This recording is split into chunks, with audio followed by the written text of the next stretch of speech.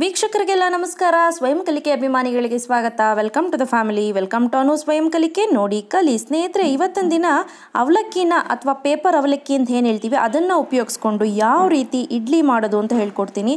It's one of the highly requested video ಅಂತ ಹೇಳ್ಬೋದು. ಇನ್ಸ್ಟೆಂಟಾಗಿ ready ಆಗುತ್ತೆ. ಯಾವುದೇ ರೀತಿ ಫರ್ಮೆಂಟೇಷನ್ ಬೇಡ, ನೆನೆಸೋದು ಬೇಡ ರುಬ್ಬಿಟ್ಕೊಳ್ಳೋ ಅಂಥ ಅವಶ್ಯಕತೆ ಇಲ್ಲ. ಫಟಾಫಟ್ ಅಂತ ರೆಡಿ ಆಗುತ್ತೆ. ಅರ್ಧ ಗಂಟೆಯಲ್ಲಿ ಇಡ್ಲಿನ ರೆಡಿ ಮಾಡಿ ತೊಗೊಂಡು ಬಂದು ಕೈಗೆ ಕೊಡ್ಬೋದು. ಅಷ್ಟು ಫಾಸ್ಟಾಗಿ ರೆಡಿ ಆಗುತ್ತೆ.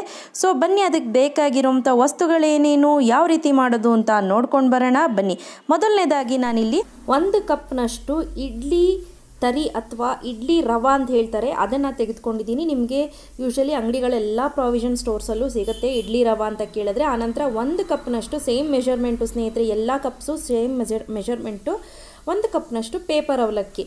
ಆನಂತರ ಒಂದೂವರೆ ಕಪ್ನಷ್ಟು ಮೊಸರು, ರುಚಿಗೆ ತಕ್ಕಷ್ಟು ಉಪ್ಪು, ಮಾಡಲಿಕ್ಕೆ ಎಣ್ಣೆ. ಆನಂತರ main baking powder baking powder ನೀವು ಯೂಸ್ ಮಾಡ್ತೀನಿ ಅಂದರೆ ಅರ್ಧ ಟೀ ಸ್ಪೂನಷ್ಟು ಸಾಕಾಗುತ್ತೆ. ಬೇಕಿಂಗ್ ಸೋಡಾ ಯೂಸ್ ಮಾಡ್ತೀನಿ ಅಂದರೆ ನಿಯರ್ಲಿ ನಿಮಗೆ ಮುಕ್ಕಾಲು ಟೀ ಸ್ಪೂನಷ್ಟು ಬೇಕಾಗತ್ತೆ. ಮೊದಲನೇದಾಗಿ ಒಂದು ಮಿಕ್ಸಿ ಜಾರ್ ತೆಗೆದುಕೊಳ್ಳಿ. ಮಿಕ್ಸಿ ಜಾರು ಕಂಪ್ಲೀಟಾಗಿ ತೇವ ಇರಬಾರ್ದು. ಈ ಅವಲಕ್ಕಿನ ಅದಕ್ಕೆ ಹಾಕ್ಕೊಂಡು ಲೈಟಾಗಿ ಕೋರ್ಸ್ ಪೌಡ್ರ್ ಮಾಡ್ಕೊಳ್ಳೋಣ. ತುಂಬ ನುಣ್ಣಗಂತೂ ಬೇಡ, ತುಂಬ ತರ್ತರಿಯಾಗೂ ಬೇಡ. ಮೀಡಿಯಮ್ ಆಗಿ ಪೌಡ್ರ್ ಮಾಡ್ಕೊಂಡು ಬರೋಣ. ನೋಡಿ ಈಗಾಗಿದೆ ಈಗ ನಾನು ಇದನ್ನು ಒಂದು ಬೌಲ್ಗೆ ತೆಗೆದಿಟ್ಕೊಳ್ತಾ ಇದ್ದೀನಿ. ಈ ರೀತಿ ಮಾಡಿಟ್ಕೊಂಡಿರೋಂತಹ ಮಿಶ್ರಣಕ್ಕೆ ರವೆ ತರಿ ಅಂತ ಏನು ಹೇಳ್ತೀವಿ ಅದನ್ನು ಹಾಕ್ಕೊಳ್ಳೋಣ. ಆನಂತರ ಸ್ನೇಹಿತರೆ, ಹಾಗೆ ಇದನ್ನು ಡ್ರೈ ಆಗಿ ಒಂದು ಸತಿ ಸ್ಪೂನಲ್ಲಿ ಮಿಕ್ಸ್ ಮಾಡ್ಕೊಳ್ಳೋಣ. ಸೊ ಈ ರೀತಿ ಮಿಕ್ಸ್ ಮಾಡೋದ್ರಿಂದ ಕರೆಕ್ಟಾಗಿ ಒಂದಕ್ಕೊಂದು ಬೆರೆಯುತ್ತೆ ಅನ್ನೋ ದೃಷ್ಟಿಯಿಂದ ಆನಂತರ ನಿಮ್ಮ ರುಚಿಗೆ ಅನುಸಾರವಾಗಿ ಉಪ್ಪು. ಉಪ್ಪನ್ನು ಹಾಕ್ಕೊಂಡು ಚೆನ್ನಾಗಿ ಕದಿಟ್ಕೊಳ್ಳಿ ಆನಂತರ ನಾನು ಮೊಸರನ್ನ ಹಾಕ್ಕೊಳ್ತಾ ಇದ್ದೀನಿ. ಕರೆಕ್ಟಾಗಿ ಒಂದು ಕಪ್ನಷ್ಟು ಮೊಸರು ಹಾಕ್ಕೊಳ್ತಾ ಇದ್ದೀನಿ. ಫಸ್ಟು ಒಂದು ಕಪ್ ಹಾಕಿ ಚೆನ್ನಾಗಿ ಮಿಕ್ಸ್ ಮಾಡಿ ನೋಡ್ಕೊಳ್ಳೋಣ. ಆನಂತರ ತುಂಬ ಗಟ್ಟಿ ಇದೆ ಮೇಡಮ್ ಅಂತ ಅನ್ನೋ ಸಮಯದಲ್ಲಿ ನೀವು ಇನ್ನರ್ಧ ಕಪ್ನ ಹಾಕ್ಕೊಂಡ್ರಾಯ್ತು ನೋಡಿ ತುಂಬ ಗಟ್ಟಿ ಇದೆ, ಈಗ ಇನ್ನೊಂದು ಅರ್ಧ ಕಪ್ನ ಹಾಕ್ಕೊಳ್ತಾ ಇದ್ದೀನಿ. ಇದನ್ನು ಅಷ್ಟೇ ಚೆನ್ನಾಗಿ ಕಲಿಸ್ಕೊಳ್ಳಿ. ಸೊ, ಮೊದಲೇ ಏನಪ್ಪ ಅಂದರೆ ಮೊಸಲು, ಮೊಸರಲ್ಲಿ ಕಲಿಸ್ಬಿಟ್ಟು ಇಟ್ಬಿಟ್ಟು ಆನಂತರ ನೋಡ್ಕೊಳ್ಳೋಣ. ಈಗ ನೋಡಿ ತುಂಬ ಗಟ್ಟಿ ಇದೆ, ಮುಕ್ಕಾಲು ಕಪ್ನಷ್ಟು ನೀರನ್ನ ಉಪಯೋಗಿಸ್ಕೊಂಡು ಈಗ ಇದನ್ನು ಮೀಡಿಯಮ್ ಆಗಿ ಬರೋ ಹಾಗೆ.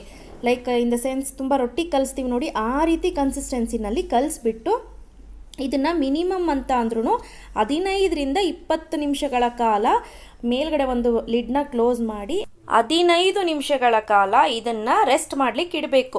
ಸೊ ಈ ರೀತಿ ರೆಸ್ಟ್ ಮಾಡಲಿಕ್ಕೆ ಇಟ್ಟಾಗಲೇ ನಿಮ್ಮದು ಇಡ್ಲಿ ತರಿ ಏನಿದೆ ಅದು ಸಾಫ್ಟ್ ಆಗುತ್ತೆ. ಸೊ ಈಗ ಹದಿನೈದು ನಿಮಿಷ ಆಗಿದೆ. ಅಷ್ಟರಲ್ಲಿ ನಾನು ಏನು ಮಾಡ್ತೀನಿ? ಈ ಪ್ಲೇಟ್ಗೆ ಸ್ವಲ್ಪ ಇಡ್ಲಿ ಪ್ಲೇಟ್ಗೆ ಎಣ್ಣೆ ಹಚ್ಕೊಂಡು ಬಂದುಬಿಡೋಣ. ನೋಡಿ, ಈಗ ಓಪನ್ ಮಾಡಿ ತೋರಿಸ್ತಾ ಇದ್ದೀನಿ. ಎಷ್ಟು ಗಟ್ಟಿಗಾಗಿದೆ ಅಂತ ಗೊತ್ತಾಗ್ತಿದೆ ಅಲ್ಲ? ಸೊ ನಮಗೆ ಇಷ್ಟು ಗಟ್ಟಿ ಅವಶ್ಯಕತೆ ಇಲ್ಲ. ಸೊ ಆಲ್ಮೋಸ್ಟ್ ನಾವು ಮತ್ತೆ ಒಂದು ಮುಕ್ಕಾಲು ಕಪ್ನಷ್ಟು ನೀರು, ಮೊದಲೇ ಬಾರಿ ಒಂದು ಅರ್ಧ ಕಪ್ನಷ್ಟು ಹಾಕ್ಕೊಂಡು ಕಲಿಸ್ಕೊಳ್ಳಿ. ಅನಂತರ ಇನ್ನೊಂದು ಸ್ವಲ್ಪ ನೀರು ಹಾಕ್ಕೊಂಡು. ಟೋಟಲ್ ಓವರಾಲ್ ನಾನು ಒಂದೂವರೆ ಕಪ್ಪಿನಷ್ಟು ನೀರು ಮಾತ್ರ ಉಪಯೋಗಿಸ್ಕೊಂಡಿದ್ದೀನಿ. ಸೊ ನಿಮಗೆ ಗೊತ್ತಾಯ್ತಲ್ಲ?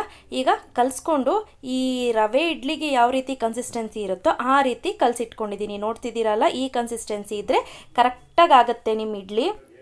ಈಗ ನೋಡಿ ನಿಯರ್ಲಿ ನಿಮಗೆ ಅರ್ಧ ಟೀ ಸ್ಪೂನ್ನಷ್ಟು ಈ ಬೇಕಿಂಗ್ ಪೌಡರ್ನ ಹಾಕ್ಕೊಳ್ತಾ ಇದ್ದೀನಿ. ಈವನ್ ಬೇಕಿಂಗ್ ಸೋಡಾ ಕೂಡ ಹಾಕೋಬೋದು, ಅಥವಾ ಈನೋ ಹಾಕಿದ್ರೂ ತುಂಬ ಚೆನ್ನಾಗಿರುತ್ತೆ. ಸ್ನೇಹಿತರೆ, ಈ ಸೋಡಾ ಹಾಕಿದ ತಕ್ಷಣ ಅಥವಾ ಪೌಡರ್ ಹಾಕಿದ ತಕ್ಷಣ ಚೆನ್ನಾಗಿ ಮಿಕ್ಸ್ ಮಾಡೋದನ್ನ ಮರಿಬೇಡಿ. ಚೆನ್ನಾಗಿ ಒಂದಕ್ಕೊಂದು ಬೆರ್ತೋಗ್ಬೇಕು ಅಲ್ಲಿವರೆಗೂ ಮಿಕ್ಸ್ ಮಾಡ್ಕೊಳ್ಳಿ. ಆನಂತರ ಇಡ್ಲಿ ಪ್ಲೇಟ್ಗೆ ನಾನಿಲ್ಲಿ ಸ್ವಲ್ಪ ಸ್ವಲ್ಪ ಅಟ್ಲೀಸ್ಟ್ ಒಂದು ಮುಕ್ಕಾಲು ಭಾಗ ತುಂಬುವಷ್ಟು ನಾನು ಬ್ಯಾಟರ್ನ ಹಾಕ್ಕೊಳ್ತಾ ಇದ್ದೀನಿ. ಸೊ ತುಂಬ ಜಾಸ್ತಿ ಬೇಡ. ಈ ರೀತಿ ಒಂದು ಸತಿ ಎರಡು ಸತಿ ಟ್ಯಾಪ್ ಮಾಡಿ ಇಟ್ಕೊಳ್ಳಿ. ಸೊ ಇದೇ ರೀತಿ ಉಳಿದಿರುವಂಥ ಎಲ್ಲ ಬ್ಯಾಟರ್ನೂ ಹಾಕ್ಕೊಳ್ಳೋಣ ಸ್ನೇಹಿತರೆ, ಇನ್ನೊಂದು ನೆನಪಲ್ಲಿರಲಿ, ಯಾವುದೇ ಕಾರಣಕ್ಕೂ ಅಟ್ ಎ ಟೈಮ್ ನೀವು ಸೋಡಾ ಅಥವಾ ಬೇಕಿಂಗ್ ಪೌಡರ್ ಅಥವಾ ಏನೋ ಒಂದೇ ಸತಿ ಹಾಕ್ಬಿಟ್ಟು ಕಲಿಸ್ಬಿಟ್ಟಿರ್ತೀನಿ ಅಂತ ಮಾಡ್ಲಿಕ್ಕೆ ಹೋಗಬೇಡಿ.